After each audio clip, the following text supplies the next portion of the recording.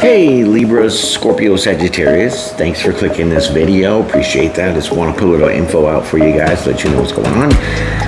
Doing a schedule, right? So I put you guys on the schedule, and uh, you know, I gotta have some days off too. Plus, you'll have the days where uh, you know what day of the week you can go and check out your videos. So guess what?